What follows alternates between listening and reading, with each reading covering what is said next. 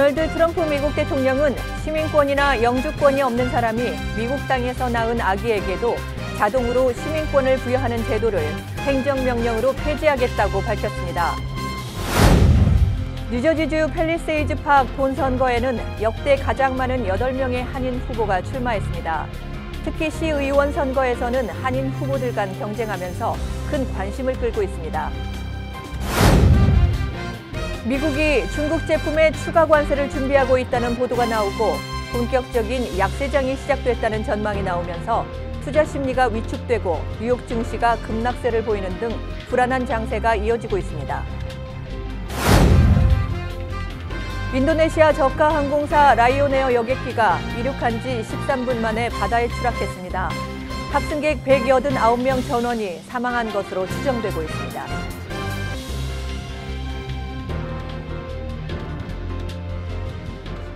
SBI 융자 전문은행 뉴밀레니엄뱅크가 홈모기지 융자를 시작했습니다. 신속한 진행과 간단한 서류로 내 집 마련의 꿈을 앞당겨 드립니다. member of FDIC and equal housing lender.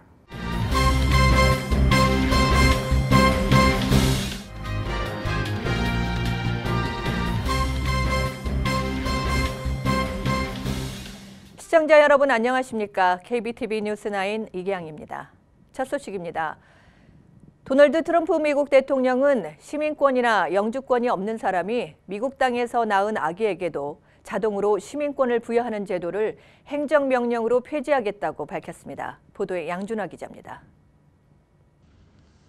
트럼프 대통령이 반이민 정책 추진에 강력한 자신의 이미지를 보이려는 듯 헌법에 보장된 권리까지 폐지하려는 계획을 발표했습니다. 이번 행정명령안은 자국 내에서 태어난 이에게 시민권을 보장하는 미 수정헌법 제14조와 배치돼 논란이 예상되며 실효성에 강한 의문을 보여주고 있습니다. 미 인터넷 매체 악시오스가 30일 공개한 트럼프 대통령과의 인터뷰 내용에 따르면 트럼프 대통령은 시민권이 없는 사람이나 불법 이민자가 미국에서 낳은 자녀들에게 시민권을 주는 헌법상 권리를 폐지하는 행정명령에 서명하는 방안을 검토하고 있다고 밝혔습니다. 트럼프 대통령은 인터뷰에서 미국은 어떤 사람이 입국해서 아기를 낳으면 그 아이는 본질적으로 미국의 모든 혜택을 누리는 심리되는 세계에서 유일한 국가다. 이는 말도 안 된다. 이제 끝내야 한다라고 말했습니다. 이에 따라 미국 헌법이 보장하는 권리인 출생 시 자동 시민권을 행정부 수반인 대통령이 행정명령으로 철폐할 수 있는지를 둘러싸고 위헌 논란이 일 것으로 점쳐지고 있습니다. 트럼프 대통령의 이번 발언은 기존 반이민 정책의 연장선에 있으며 목전에 다가온 미 중간 선거를 앞두고 보수층 유권자들의 지지를 모으기 위한 포석으로도 받아들여집니다. KBTV 뉴스 양준하입니다. MTA 당국은 예산 절감을 이유로 MTA 지하철역 엘리베이터 안내원들을 없앨 것으로 보여 밤늦게 엘리베이터를 이용하는 여성 승객들의 불안감을 증폭시키고 있습니다. 보도에 양준하 기자입니다. MTA가 잦은 연착과 낡은 신호체계, 일부 구간의 시급한 수리 등 안고 있는 많은 현안에 대해 이번엔 비용을 줄이기 위해 전철역 내 엘리베이터 안내원들을 철수할 계획이어서 밤늦게 지하철을 이용하는 맨하튼 승객들, 특히 여성들의 불안감이 커지고 있습니다. 북쪽 맨하튼의 5개 전철역은 외진데다가 밤늦게 이용하는 승객들이 많습니다. 현재는 각 역마다 엘리베이터를 타고 내리는 승객들을 살피고 도우미 역할을 하는 풀타임 직원들이 있습니다. 이번에 안내원들의 부재를 계획한 데 대해 교통근로자 노동조합과 승객들은 염려를 나타내고 있습니다. 오랫동안 승객들의 안전을 위해 일해온 엘리베이터 안내원들은 승객들에게 낯이 있고 친근감을 주어서 밤 늦은 시간에 엘리베이터를 이용할 경우 범죄로부터의 안정감과 안도감을 느껴온 것이 사실입니다. 한 교통 노동조합원은 항상 가족 같은 안내원들로 밤에 귀가하는 승객들이 안정감을 느껴왔다면서 이번 철수 계획안에 아쉬움을 표했습니다. MTA 당국은 지하철 내 안전도 유지하고 비용도 줄이려는 소위 두 마리 토끼를 다 잡아보려고 하지만 쉽지 않게 보입니다. 이번 계획안은 오는 12월에 투표로 결정이 될 것 같습니다. KBTV 뉴스 양준하입니다. 네, 다음 소식입니다. 오는 11월 6일 치러지는 뉴저지주 팰리세이즈 팍 본선거에는 역대 가장 많은 8명의 한인 후보가 출마했습니다. 시장에 도전하는 크리스정 민주당 후보가 가장 많은 스포트라이트를 받는 가운데 시의원 선거 역시 한인 후보들 간 격돌하게 되면서 큰 관심을 끌고 있습니다. 취재 김일강 기자입니다. 총 2명이 당선되는 뉴저지 팰리세이즈 팍 시의원 선거에 4명의 후보가 나섭니다. 이 중 3명이 한인 후보입니다. 민주당에서는 이종철 현 부시장과 폴김 후보가 출마했고 공화당은 김재현 변호사와 존 매튼 후보가 출마했습니다. 현재 펠팍 시의원이자 부시장을 맡고 있는 이종철 후보는 시의원 5선에 도전하고 있습니다. 런닝메이트 폴김 후보는 시의원 초선에 나서지만 그간 펠팍 교육위원으로 활동하며 경험을 쌓았습니다. 만약 그 겨- 경우에는 한국 대표들이 더 필요합니다. 아무 타운인가. 만약 이 타운이 Spanish가 대, 대부분이면 Spanish 대표들이 더 필요해요. 우리 정부, 이 타운 정부에서는 그게 우리의 숙제고 우리의 우리의 responsibility예요. 좋은 대표를 찾고 그 커뮤니티한테 가서 얘기를 하고 필요한 거 있는지 그것도 물어보고 뭐가 모자란지 물어보고 같이 손을 잡는 커뮤니티를 해야 된다고 생각합니다. 이에 맞서는 공화당 소속 김재현 후보는 선출직 출마는 처음이지만 한인 최초로 버겐 카운티 중앙법원 판사로 활동해 인지도가 높습니다.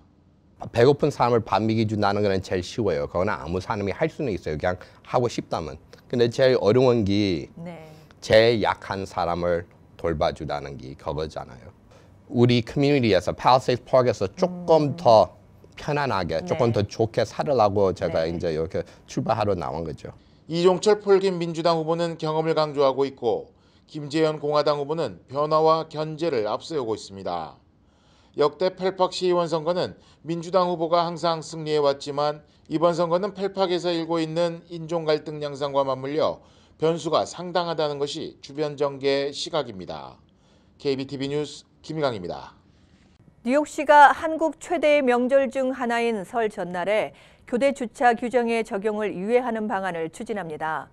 뉴욕시 의회는 설 전날에 alternate side parking 규정을 유예하는 조례안을 비롯해 주차 관련 13개 조례안에 대해 공청회를 갖고 의견을 수렴했습니다. 공청회에서 교통위원회 위원장 이다니스 로드리게스 의원은 뉴욕시 교통 규정 중 일부는 현 시점에 동떨어질 수 있고 수정이 필요한 부분이 있다고 강조했습니다.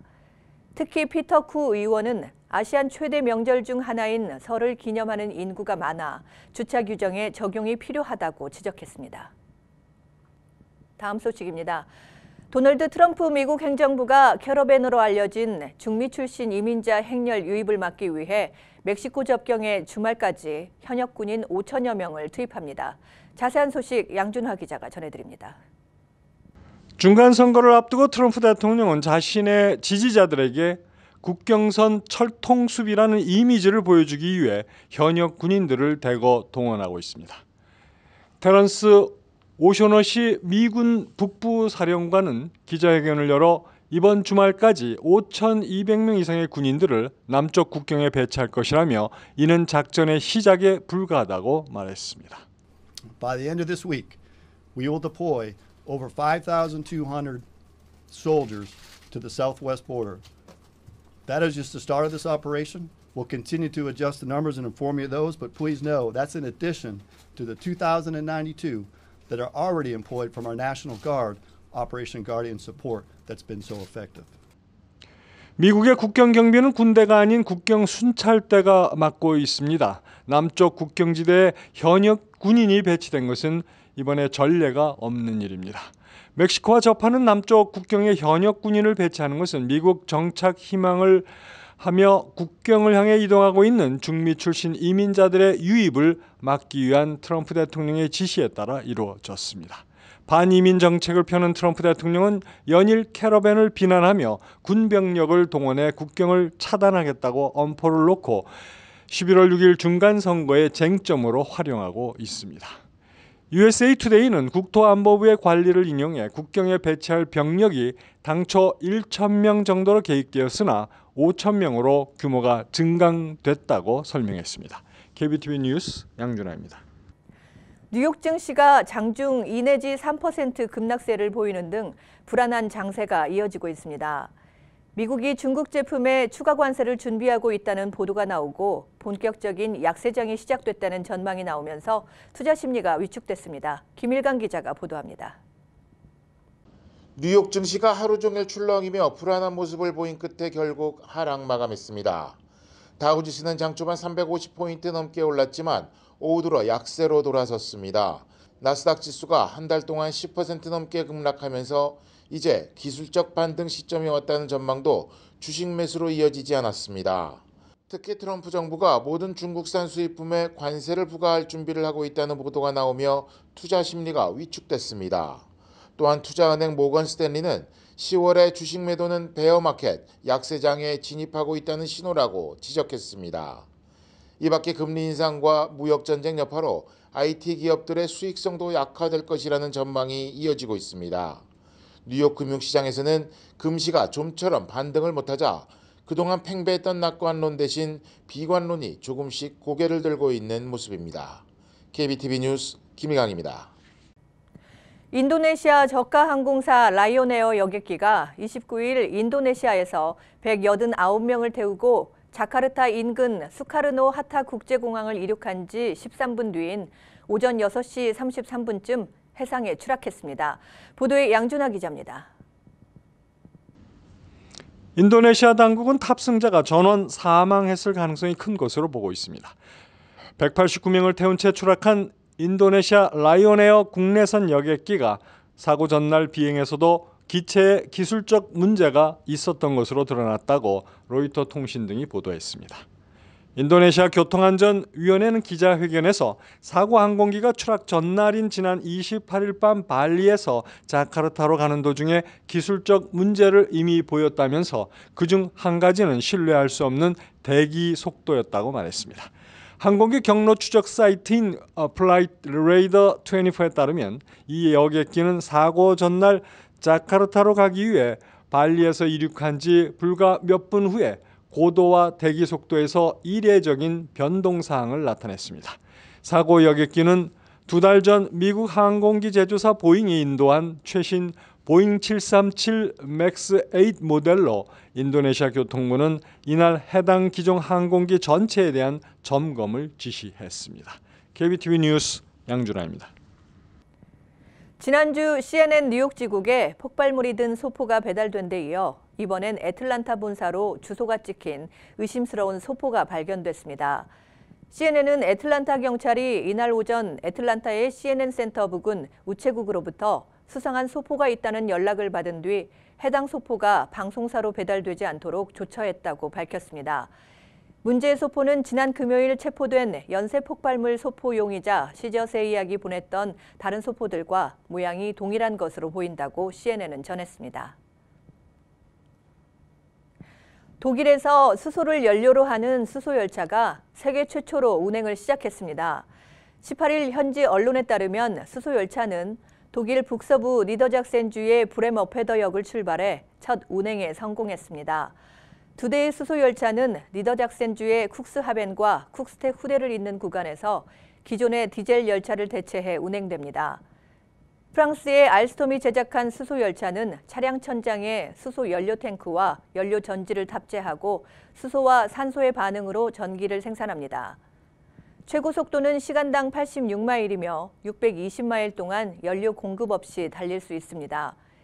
기존의 차량 엔진들이 배기가스 배출로 기후 온난화의 주범으로 인식되는 가운데 이번에 운행에 성공한 수소 열차는 주행 중에 증기와 물만 배출에 크게 환영을 받고 있습니다.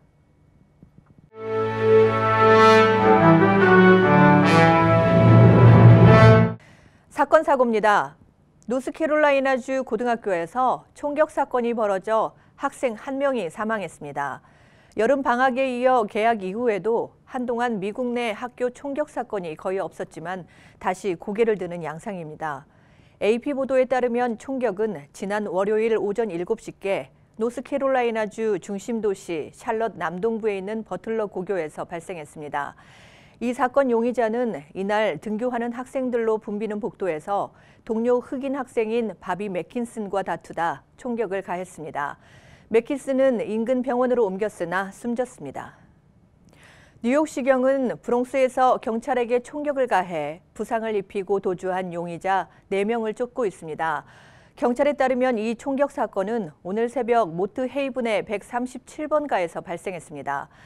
경찰에 따르면 비번 경찰은 이 시간 순찰차를 타고 가다 동료 경찰이 순찰차에서 내리는 순간 총을 맞았습니다. 그는 현재 병원 치료를 받고 안정을 회복한 상태입니다. 지하철 전동차에 귀뚜라미를 풀어놓은 여성 지에다 퓨가 유죄 판결을 받았습니다. 검찰에 따르면 퓨는 2016년 붐비는 D train 전동차에 귀뚜라미 300여 개를 풀어놔 기차가 맨허튼 브릿지에 멈추는 소동이 벌어진 바 있습니다. 퓨는 재판 과정에서 뉴욕시가 홈리스에게 관심을 갖도록 하기 위해 귀뚜라미 소동을 벌였다고 진술했습니다. 그녀는 감옥 대신 병원에서 정신질환 치료를 받고 있습니다. 올해 일광절약 시간제가 오는 11월 4일 일요일 새벽 2시를 기해 해제됩니다. 이에 따라 당일 새벽 2시가 1시로 조정되며 뉴욕과 서울 간 시차는 현재 13시간에서 14시간으로 1시간 늘어나게 됩니다. 서머타임 시간제는 매년 3월 둘째 주 일요일에 시작돼 11월 첫째 주 일요일에 끝납니다. 뉴욕시 특목고 입학시험 SHSAT 폐지를 둘러싼 갈등이 계속되고 있습니다. 최근 퀸즈 교육위원회 미팅에 참석한 시 정부 담당관이 항의하는 학부모들을 향해 부적절한 태도를 보여 빈축을 샀습니다. 리처드 카란자 교육감은 즉각 사과하고 적절한 조치를 취했지만 특목고 문제로 인한 정부와 학부모 간 충돌이 우려를 사고 있습니다.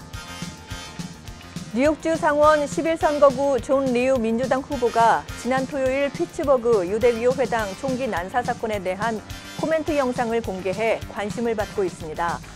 리우 후보는 지난 일요일 샌드위치를 먹으며 비극적인 사건에 대해 함께 나아갈 방법을 찾아야 한다고 말한 22초 분량의 짧은 동영상을 SNS에 올렸습니다. 크리스마스 시즌을 알리는 라커펠러 트리 점등식이 한 달 앞으로 다가왔습니다. 라커펠러 센터를 소유한 티시먼 스파이어는 월요일 올해의 트리가 될 나무를 공개했습니다. 올해는 뉴욕주 upstate 월킬의 72피트짜리 독일 가문비 나무가 낙점됐습니다. 사측은 다음 달 8일 나무를 베어 이틀 뒤 맨허튼 미드타운으로 옮길 예정입니다. 이어서 포커스인과 커뮤니티 브리핑이 이어집니다.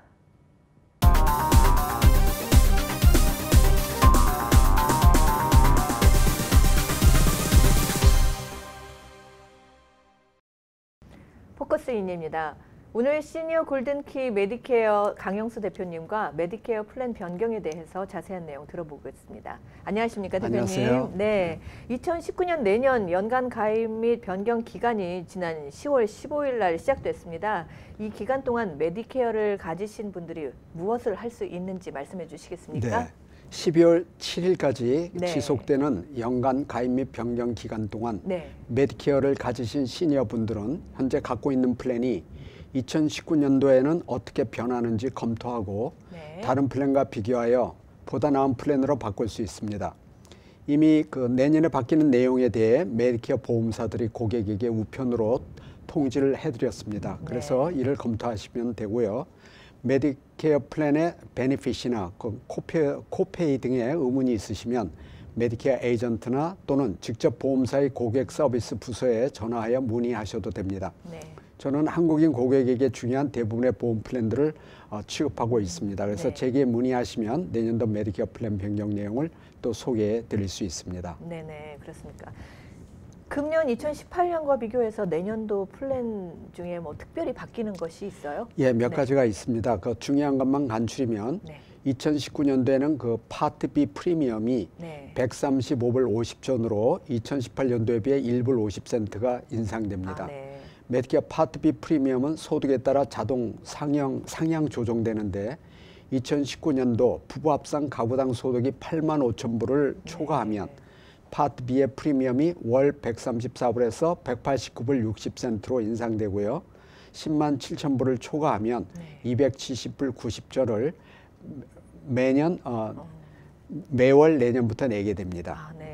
그다음에 처방약 플랜에서 네. 초기 디덕터블이 415불로 10불이 오릅니다.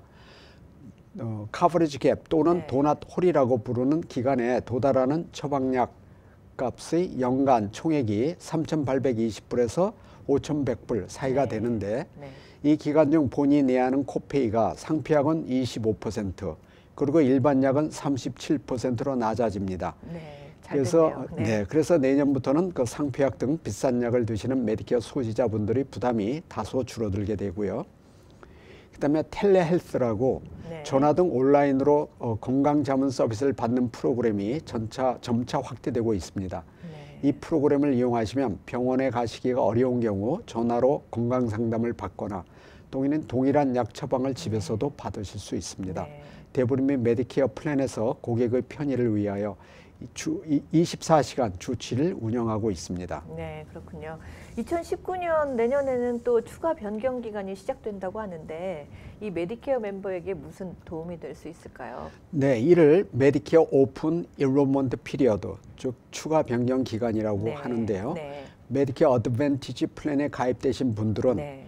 내년도 1월 1일부터 3월 31일까지 3개월 동안에 다른 Medicare Advantage 플랜으로 바꾸거나 또는 가입한 Medicare Advantage 플랜을 취소하고 네. 그 대신 Original Medicare Part A와 B로 돌아가거나 네. 또는 처방약만을 커버하는 플랜에 가입 취소할 수 있습니다.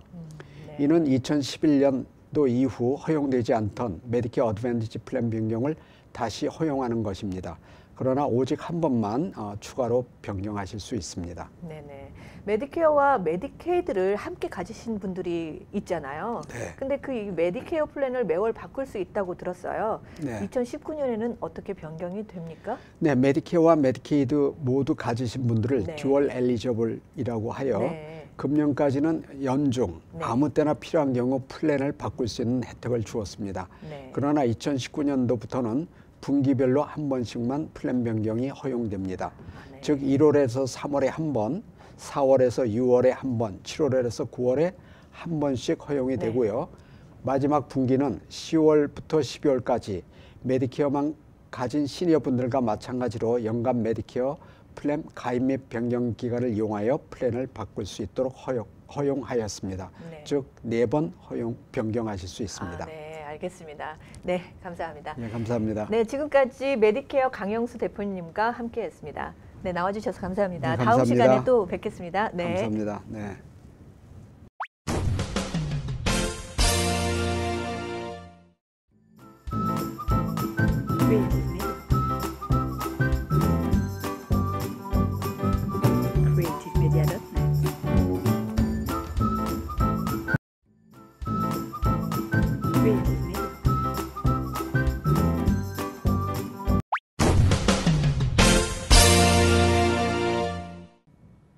환율과 증시 전해드립니다.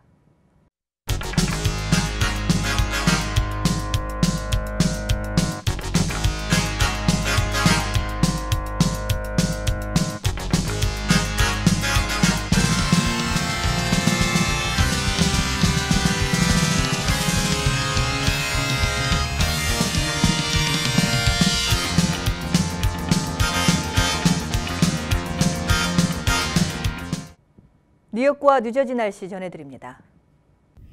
Holy Name 병원이 연방정부의 2017년 병원평가에서 5스타 최우수 병원으로 선정되었습니다. 뉴저지 버겐 카운티 유일의 5스타 최우수 병원 Holy Name 병원이 날씨를 알려드립니다.